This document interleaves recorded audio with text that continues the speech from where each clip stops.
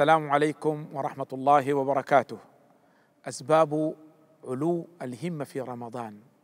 ها هو نبينا صلى الله عليه وسلم في أحد أسفاره وجد اعرابيا فنزل في ضيافته. فأكرم ذلك الأعرابي رسول الله صلى الله عليه وسلم. فأراد النبي صلى الله عليه وسلم أن يرد ذلك الجميل كعادته صلى الله عليه وسلم كيف لا وهو القائل من صنع إليكم معروفا فكافئوه فإن لم تجدوا ما تكافئونه به فادعوا له حتى تروا أنكم قد كافأتموه. فطلب النبي صلى الله عليه وسلم من الأعرابي أن يأتيه ليكرمه صلى الله عليه وسلم. فلما جاءه قال له النبي صلى الله عليه وسلم سل حاجتك يا أعرابي سل حاجتك اطلب ما تشاء. فماذا تتوقعون أن يطلب هذا الأعرابي وهو أمام نبي صلى الله عليه وسلم وهو الحاكم بل هو أمام أفضل الأنبياء والمرسلين عند رب العالمين؟ أمام نبي لو سأل الله عز وجل لأحد شيئا من أمر الدنيا أو الآخرة لا يرد الله تبارك وتعالى طلبه. ولكن ذلك الأعرابي لم يغتنم الفرصة. نعم إنها فرصة العمر. التي قد لا نعود إليها فلم يسأل الدرجة العالية من الجنة ولم يسأل مرافقة النبي صلى الله عليه وسلم في الجنة بل ولم يسأل أن يكون غنيا في الدنيا لعله أن يستفيد من هذا المال بالتقرب إلى الله عز وجل بالإكثار من الصدقات من الصدقات وإعانة المحتاجين. إنما سأل النبي صلى الله عليه وسلم ناقة ليركبها. واعنزا يحلبها أهله. فقال له النبي صلى الله عليه وسلم سل حاجتك يا أعرابي. فإذا به يقول إنما أريد ناقة أركبها واعنزا يحلبها أهلي. سل حاجتك يا أعرابي. ثلاثا يقول له النبي صلى الله عليه وسلم في النهاية أعطاه النبي صلى الله عليه وسلم ما أراد ولكنه نبه أصحابه إلى أمر مهم إلى علو الهمة. قائلا لهم أعجزتم أن تكونوا مثل عجوز بني إسرائيل؟ فقال الصحابة يا رسول الله وما عجوز بني إسرائيل؟ قال صلى الله عليه وسلم إن موسى عليه السلام لما سار ببني إسرائيل من مصر ضلوا الطريق. فقال ما هذا؟ فقال علماؤهم إن يوسف عليه السلام لما حضره الموت أخذ علينا موثقا من الله تعالى الا نخرج من مصر حتى ننقل عظامه معنا. قال فمن يعلم موضع قبره؟ قالوا ما ندري أين قبر يوسف ولا تدري إلا عجوز بني إسرائيل. فبعث إليها نبي الله موسى فأتته فقال لها دليني على قبر يوسف عليه السلام قالت لا والله لا أفعل حتى تعطيني حكمي. قال لها موسى عليه السلام وما حكمك؟ قالت أن أكون معك في الجنة. فكره موسى أن يعطيها ذلك لأن هذا أمر لا يملك لا يملكه. فأوحى الله تعالى إليه أن أعطها حكمها. فانطلقت بهم إلى بحيرة. فقالت لهم احفروا هذا المكان أنضبوا هذا الماء.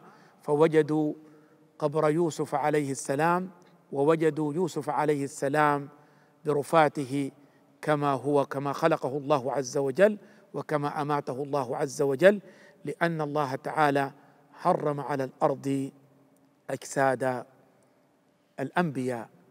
إن عالي الهمة يجود بالنفس والنفيس في سبيل تحصيل غايته وتحقيق بغيته لأنه يعلم أن المكارم منوطة بالمكاره وأن المصالح والخيرات واللذات والكمالات كلها لا تنال إلا بحظ من المشقة ولا يعبر إليها إلا على جسر من التعب. بصرت بالراحة الكبرى فلم أرها تنال إلا على جسر من التعب. من أراد الجنة سلعة الله الغالية لم يلتفت إلى لوم لائم ولا إلى قول قائل ومضى يكدح في السعي لها دون التفات لمصبط أو عائق في الطريق. وفي الحديث من خاف أدلج ومن أدلج بلغ المنزل ألا إن سلعة الله غالية ألا إن سلعة الله الجنة.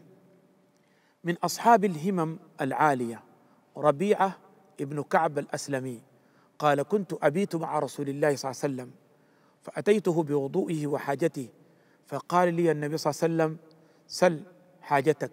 فقلت أسألك مرافقتك في الجنة. قال له النبي صلى الله عليه وسلم أو غير ذلك؟ فقلت هو ذاك يا رسول الله؟ فقال له النبي صلى الله عليه وسلم فأعني على نفسك بكثرة السجود. والناظر إلى شهر رمضان وأحوال الناس فيه يرى ما يثير العجب. فهل يا ترى لرمضان سر في قلوب المؤمنين؟ إننا نرى من أحوال الناس في رمضان من الهمة العالية ما يحير العقول والقلوب. والإقبال على الله تعالى والاجتهاد في الأعمال الصالحة المقربه إليه سبحانه. فيا ترى في رمضان من له همة ترقيه وعلم يبصره ويهديه من أهل العلم والخير والعمل الصالح عابد لربه مقبل عليه مجتهد في طاعته يزداد مع مرور الوقت إيمانا وعملا يجد حلاوة الإيمان وطعمه ولذته رزقه الله علما نافعا وعملا صالحا. استقام له سيره على الله تعالى فعرف مراد الله تعالى. إذا دخل رمضان ترى أصحاب الغفلة يقبلون على الله تعالى. تائبين عابدين ساجدين مصلين. استيقظت من النوم والغفلة قلوبهم فحيت همتهم فأقبلوا على الصلاة وامتلأت بهم المساجد وأقبلوا على القرآن الكريم يقرؤونه ويرتلونه ترتيلا واقبلوا على صلاة التراويح يتسابقون إليها بقلوب محبة مشتاقة لربهم نفضوا عن أنفسهم غبار الغفلة. فرأينا من أحوال الناس عجبا صاموا رمضان وقاموا لياليه وقرأوا القرآن وأقبلوا على الذكر. وتصدقوا وأطعموا الطعام وأقبلوا على أبواب الخير كلها. فلرمضان أثر على قلوبهم فرفع همتهم بها. لم يكونوا عليه قبل ذلك قبل رمضان. إن رمضان بالنسبة لهم هو شهر الهمة العالية وهنالك صنف آخر من أهل الهمة العالية في غير رمضان بقدومه عليه وإقباله قد ارتفعت وسمت همتهم أكثر مما كانوا عليه فإذا هم قد بلغوا الغاية القصوى من الاجتهاد في العمل فمن السلف الصالح من كان يختم القرآن في كل أسبوع مرة فإذا هو في رمضان يختم في كل يومين وفي العشر يختم في كل ليلة حتى قيل إن الشافعي رحمه الله كان يختم القرآن الكريم في رمضان في كل يوم مرتين مره عند الصباح ومره عند المساء. فيا لعجب هذا الشهر على المؤمنين يرفع همتهم فيسمو بها إلى السماء. هذا هو الصحابي النابغة الجعدي يقول بلغنا السماء مجدنا وجدودنا وإنا لنرجو فوق ذلك مظهرا. فقال له النبي صلى الله عليه وسلم إلى أين يا أبا ليلى؟ قال إلى الجنة. فقال النبي صلى الله عليه وسلم أجل إن شاء الله تعالى. إنها الهمة العالية لأهل الإيمان من أصحاب الهمم في رمضان. من يقوم الليل كله ومنهم من يقبل على صلاة التهجد في العشر الأواخر من رمضان. ولا تفوته صلاة الجماعة إلا لعذر فيتألم لفواتها بل منهم من يبكي لفواتها بكاء الثكالى لما علت همتهم ذاقوا حلاوة وطعم العبادة فإذا فاتتهم حزنوا وتألموا. قال أبو جعفر دخلت على أحمد بن يحيى رحمه الله فرأيته يبكي بكاء كثيرا ما يكاد يتمالك نفسه. فقلت له أخبرني ما حالك. فأراد أن يكتمني فلم أتركه. فقال لي فاتني حزبي البارحة ولا أحسب ذلك إلا لأمر أحدثته فعوقبت بمنع حزبي ثم أخذ يبكي فأشفقت عليه وأحببت أن أسهل عليه. فقلت له ما أعجب أمرك؟ لم ترضى عن الله تعالى في نومة أن هنية أنامك إياها حتى قعدت تبكي. فقال لي دع عنك هذا يا أبا جعفر فما أحسب ذلك إلا من أمر أحدثته. ثم غلب عليه البكاء فلما رأيته لا يقبل مني انصرفت وتركته. هؤلاء أصحاب الهمم العالية. لا تذهبوا بعيدا حتى نكمل الحديث عن هؤلاء أصحاب الهمم العالية حتى نكون مثلهم.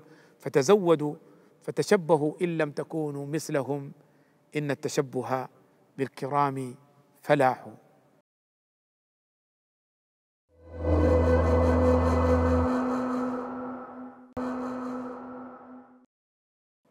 عدت إليكم من جديد وعاد الحديث عن الهمم العالية. أصحاب الهمم العالية يرون في رمضان موسما للتزود بالخير ليوم المعاد. تزود للذي لا بد منه فإن الموت ميعاد العباد. أترضى أن تكون رفيق قوم لهم زاد وأنت بغير زاد؟ إنهم يتزودون في رمضان من الخير والعمل الصالح. حالهم كما قال النبي صلى الله عليه وسلم لأصحابه في الصلاة إذا قمت في صلاتك فصلي صلاة مودع أي كأنها آخر صلاة ستصليها أيها المؤمن. جاء في إحياء علوم الدين لأبي حامد الغزالي رحمه الله. سئل حاتم الأصم رحمه الله تعالى عن صلاته فقال إذا حانت الصلاة اسبغت الوضوء وأتيت الموضع الذي أريد الصلاة فيه فأقعد فيه حتى تجتمع جوارحي ثم أقوم إلى صلاتي وأجعل الكعبة بين حاجبي والجنة عن يميني والنار عن يساري وملك الموت ورائي واظن اظنها آخر صلاتي ثم أقوم بين الرجاء والخوف وأكبر تكبيرا بتحقيق وأقرأ قراءة بترتيل وأركع ركوعا بتواضع وأسجد سجودا بتخشع. ثم لا أدري أقبلت مني أم لا.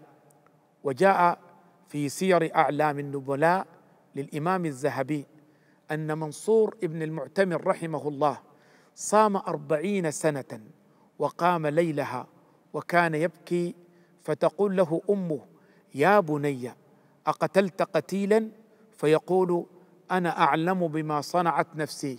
فإذا كان الصبح كحل عينيه ودهن رأسه وبرق شفتيه وخرج إلى الناس خشية أن يروا عليه أثر قيام الليل. وفي الأثر عن علي بن أبي طالب رضي الله عنه أنه صلى صلاة الفجر ذات يوم فلما انفتل عن يمينه مكث كأن عليه كآبة حتى إذا كانت الشمس على حائط المسجد قيد رمح صلى ركعتين ثم قلب يده فقال والله لقد رأيت أصحاب محمد صلى الله عليه وسلم فما أرى اليوم شيئا يشبههم لقد كانوا يصبحون صفرا شعثا غبرا قد باتوا لله سجدا وقياما يتلون كتاب الله يرايحون بين جباههم وأقدامهم. فإذا أصبحوا ذكروا الله وفاضت أعينهم بالدموع ولكأن القوم باتوا غافلين. إذا ما الليل أظلم كابدوه فيسفر عنهم وهم ركوع. أطار الخوف نومهم فقاموا وأهل الأمن في الدنيا هجوع. لهم تحت الظلام وهم سجود أنين منه تنفرج الضلوع وخرص في النهار لطول صمت عليهم من سكينتهم. خشوع أصحاب الهمم العالية لسان حالهم. اعملوا في رمضان عمل مجتهد مودع قد لا يدرك رمضان الآخر فإذا أعمالهم أحسن الأعمال وأكملها.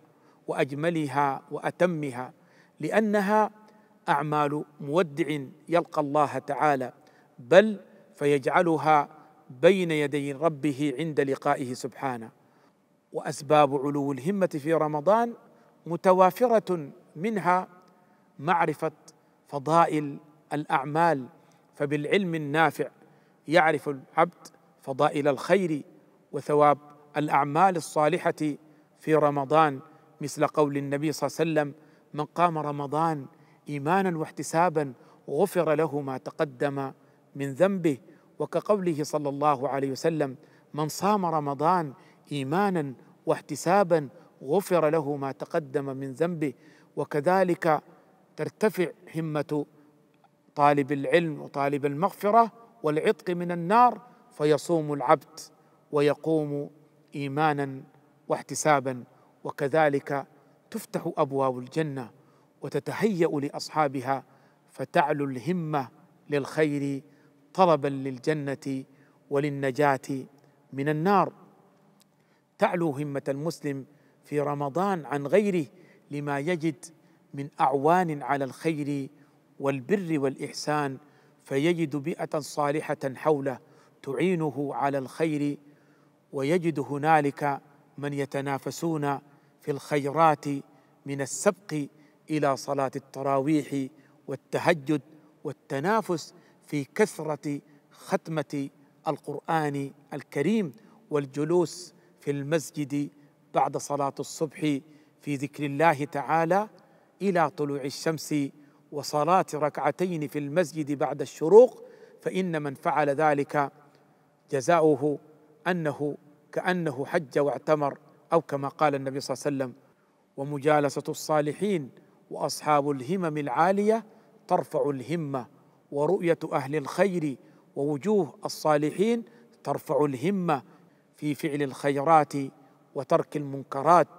وفي رمضان يزداد الإيمان فتظهر آثاره على الوجوه كما قال ابن عباس رضي الله عنهما إن للحسنة ضياء في الوجه ونورا في القلب وسعة في الرزق ومحبة في قلوب الخلق وقوة في البدن فرؤية هذه الوجوه والنظر إلى أحوال أهلها وتقلبهم في الطاعات والعبادات ترفع الهمة بل وسماع أخبارهم كذلك يزيد من الهمة العالية. كذلك من أسباب علو الهمة في رمضان الدعاء فهو شهر الدعاء. فيكثر المسلم من الدعاء والتقرب إلى الله تعالى بالدعاء في أوقات الإجابة فرمضان أحواله كلها إجابة فإذا هو يدعو الله تعالى ليلا ونهارا سرا وجهارا اللهم اعني على ذكرك وشكرك وحسن عبادتك. هكذا كان يقول النبي صلى الله عليه وسلم وكقوله تعالى ربنا آتنا في الدنيا حسنة وفي الآخرة حسنة وقنا عذاب النار. وكقوله تعالى ربنا لا تزغ قلوبنا بعد إذ هديتنا وهب لنا من لدنك رحمة إنك أنت الوهاب. وهكذا رمضان شهر الدعاء فبالدعاء ترتفع الهمة وتعلو إلى السماء. كذلك من أسباب علو الهمة في رمضان معرفة قيمة الوقت أي العمر. فهو الثروة والهبة الربانية التي هي أنفس وأغلى ما يملكه المسلم. وقديما قال الألبيري ناصحا ابنه أبا بكر قائلا له تفت فؤادك الأيام فتا وتنحت جسمك الساعات نحتا وتدعوك المنون دعاء صدق ألا يا صاحي أنت أريد أنت؟ أبا بكر دعوتك لو أجبت إلى ما فيه حظك. لو عقلت والوقت أنفس ما عنيت بحفظه وأراه أسهل ما عليك يضيع.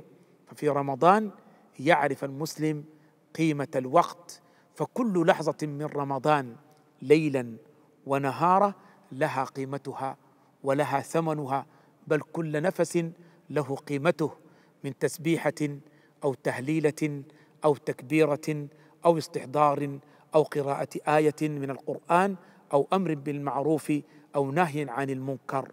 يقول الحسن البصري رحمه الله ما من يوم يخرج إلا ويقول يا ابن آدم اغتنمني لعله لا يوم لك بعدي ولا ليله إلا وهي تقول يا ابن آدم اغتنمني لعله لا ليلة لك بعدي ثم معرفة العبد نعم الله وبره إحسانه به. فهو في رمضان يعيش في نعم الله وهباته ومننه الجليلة. فهو يجتهد في شكره لهذه النعم. ومن تلك النعم في رمضان تيسير العبادة وإعانة الله تبارك وتعالى بفضله وبره وجوده العظيم أن بلغك وبلغني وبلغك هذا الشهر العظيم قل بفضل الله وبرحمته فبذلك فليفرحوا. هو خير مما يجمعون. وصلى الله تعالى على نبينا محمد وآله وصحبه وسلم تسليما كثيرا وإلى لقاء آخر. أستودعكم الله الذي لا تضيع ودائعه. والسلام عليكم ورحمة الله وبركاته.